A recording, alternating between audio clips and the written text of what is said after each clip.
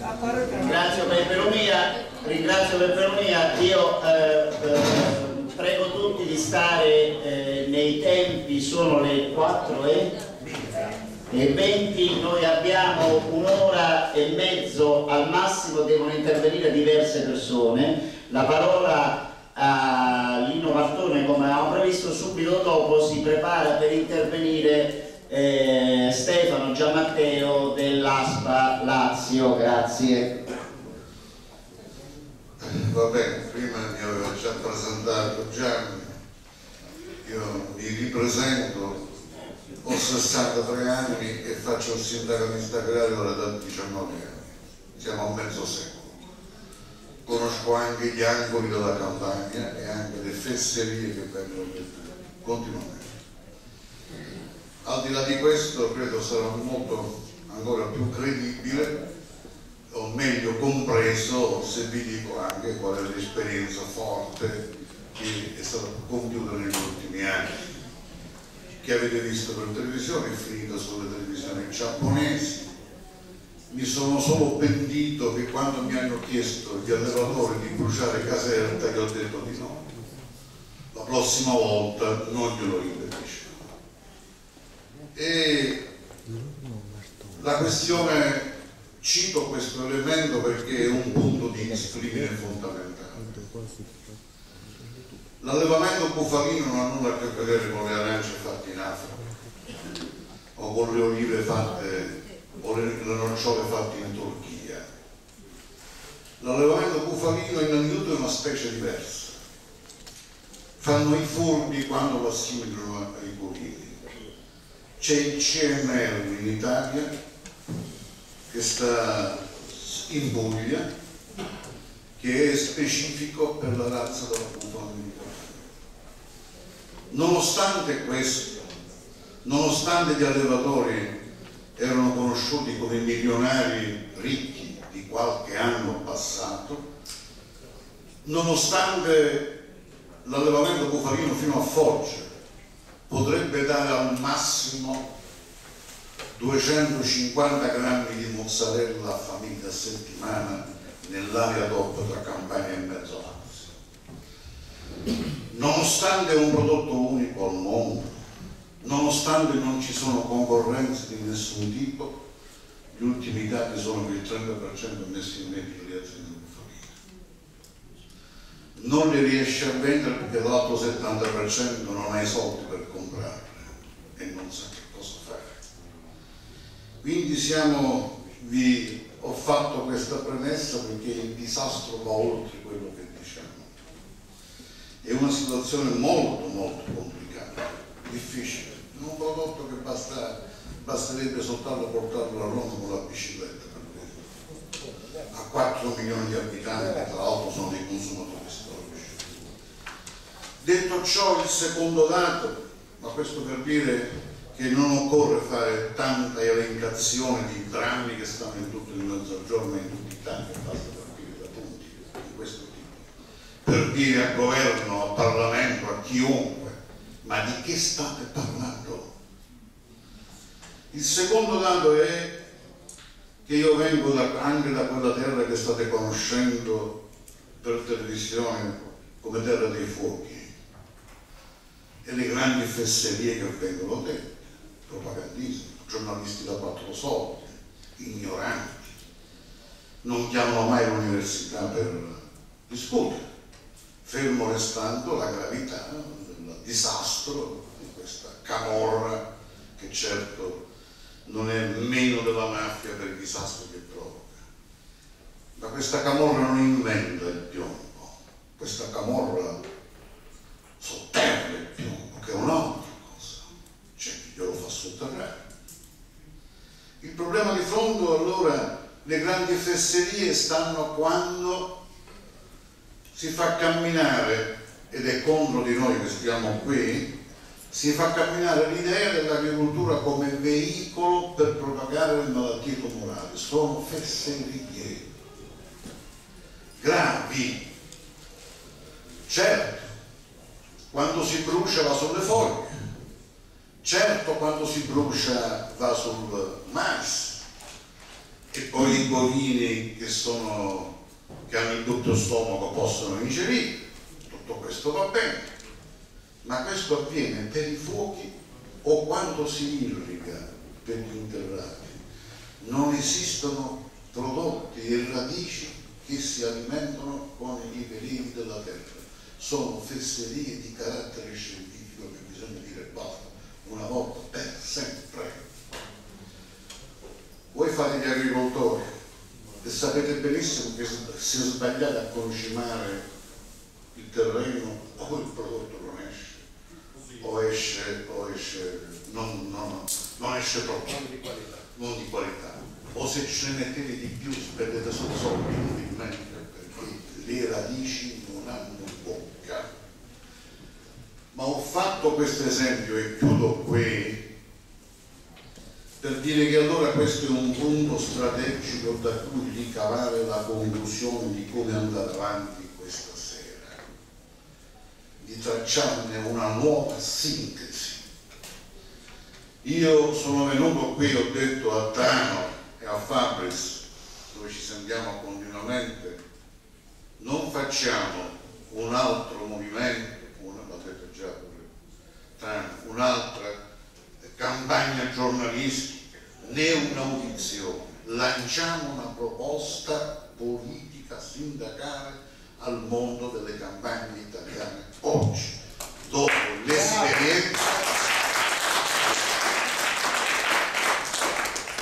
l'esperienza negativa di questi anni, di cui tutti ne dobbiamo prendere diciamo, lezione. Trarre la sintesi partendo da questo punto di fondo e vado alla fine, nel senso che quando è avvenuto e avviene è il risultato dell'antropizzazione. Poi la camorra viene dopo, il risultato di uno sviluppo in crisi, che non ha più prospettive, che occorre cambiare radicalmente. La camorra è stata utilizzata da questa crisi. E perché prima della terra dei fuochi allora, lo diceva anche l'onorevole prima, ci sono gli OGM e il mancato controllo dei mercati delle grandi multinazionali i più pericolosi sono questi. Ma da qui ne ricaviamo una condizione di fondo. La condizione di fondo, sintetizziamo, la possiamo sintetizzare così, ritorna il problema della terra in Italia, del nuovo rapporto città e campagna, soprattutto in Occidente e in Italia che è uno stivale e con la questione meridionale. Ma non più la terra del latifondo degli anni 50, occorreva spezzare. Non più la terra e le campagne da impoverire perché la città aveva bisogno di manodopera a basso costo come negli anni 50 e 60, ma oggi viene di nuovo al centro il problema terra per vivere, per campare e non solo chi coltiva la terra, per campare la città, se non muore. Ed è questo che viene fuori da questo movimento. E di fronte a questa situazione, che facciamo? E dobbiamo innanzitutto fare chiarezza per le ridicole, i ridicoli numeri che vengono dati circa le forze che lavorano nei campi oggi. C'è un istituto che si chiama GEA, onorevole Alfano, che ha i dati dell'anagrafe aziendale, non inventiamo i numeri, stanno lì tutti i numeri, sappiamo quanti ne siamo. Lui la Geri fornisce. Eh? La Geri fornisce. La ma si fa il censimento e vengono fuori 2 milioni di aziende che non esistono. Tutte iscritte alla conferenza. Tutte Ma vedono un po', ma vedono un po'. E sono alla Camera del Commercio facendo siccome sono dati liberi dalle Camere del Commercio li ho sommati più di una volta. Non sono più di 850.000 le aziende iscritte in Italia. Di queste almeno il 40% sono o part time o hanno un'altra attività IVA eccetera eccetera. Di fronte a questa situazione bisogna allora farne mente locale, occorre cambiare l'impostazione completamente, occorre cambiare i rapporti di forza, occorre chiudere radicalmente una fase storica di Coldiretti, CIA e Confagricoltura. Occorre perché anche le altre organizzazioni, vedete, come la CIA, io ci ho lavorato per anni, sono il risultato di un'alternativa alla Coldiretti. Oggi non ci sono più alternative alla Coldiretti. Una nuova unità si può costruire dando vita a un nuovo schema organizzativo dove si organizza proprio questa sistemazione nuova i coltivatori e chi produce per settori produttivi bovini, bufalini, mele, pere per settori per settori produttivi ma anche e soprattutto e qui volevo arrivare la costruzione di nuove alleanze, di nuove unità, un nuovo protagonismo della lotta per la terra. Io propongo che da questa sera altra agricoltura, con le presenze che ci stanno, faccia una proposta a tutti i movimenti italiani perché si costruisca una nuova alleanza per la terra, una nuova in cui non scriviamo soltanto chi produce, ma scriviamo anche le grandi aree, i cittadini delle aree antropizzate che hanno l'obiettivo di ricomporre la terra e il loro cibo, un qualcosa di massa più grande, più ampio, diverso da scrivere del passato e ci dobbiamo mettere l'impegno. Tra questo e concludo vi sono cose anche però immediate. Oltre alle cose scritte nella piattaforma che abbiamo presentato, lo dico al senatore che stava qui, le cose fatte vanno bene, ma si cambia anche il codice civile e la si finisca di fare dell'agricoltura l'impossibilità di procedere a istanze di fallimento. Voi sapete che il codice civile non consente la procedura di fallimento per le aziende agricole, ma solo l'istanza di messa all'asta. C'è un agronomo lì, un ragazzo che mi sta aiutando, e spero diventerà un nuovo dirigente anche, oltre che professionalmente, abbiamo fatto un conto, lo dico al senatore e all'onorevole. Se un commerciante va in fallimento perché deve dare 200.000 euro a una banca, c'è la procedura di fallimento e col 30-40% se la cava.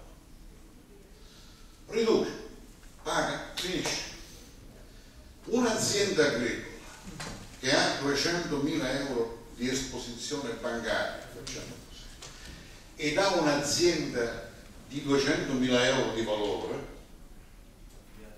viene venduta per il 30% senza che lui ci ricarichi. 10.000 euro viene venduta così. Bisogna cambiare il codice civile. Bisogna cambiare perché si sta creando una disparità di diritto che non è più possibile portare avanti.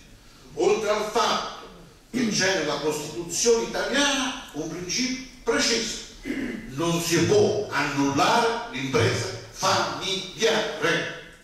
Sta scritto nella Costituzione italiana. Questo è un punto, ma dico all'onorevole Alfano, subito, non lo so se sarà rieletta parlamentare europea, bisogna superare la ferraginosa normativa sulla contrattazione di filiera e interprofessionale. Bisogna superarla immediatamente. Senatore Stati che sto parlando, le associazioni di prodotto sono una cosa, loro fanno accordi commerciali, ma se vogliamo controllare imbroglioni, produttori, trasformatori eh, le copie che vengono da tutto il mondo lo si fa solo in un modo, creando la libertà di contrattazione sindacale tra produttori di un settore e chi trasforma e chi commercia, perché poi ti viene a controllare io. E questo è possibile o non è possibile? Ci sono 100.000 leggi in questo paese. E dico al senatore una cosa, è vero che la comunità fa quello che fa, però senatore ci sono regolamenti che creano problemi, ma ci sono gli accordi di Maastricht e le regole generali che dicono anche altre cose.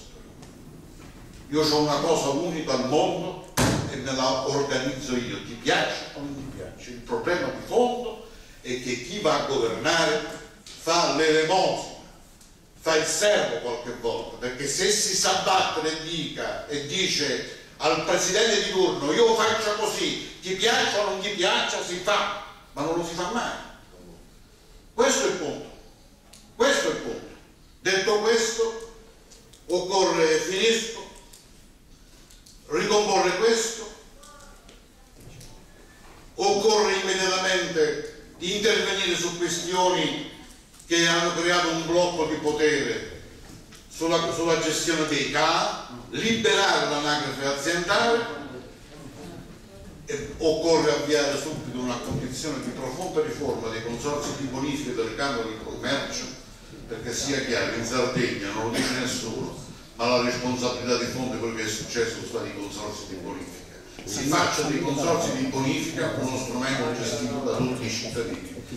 Io finisco dicendo usciamo da questa sera con una proposta al mondo italiano delle campagne, delle città, dell'agricoltura perché si faccia una nuova alleanza per la terra. Grazie.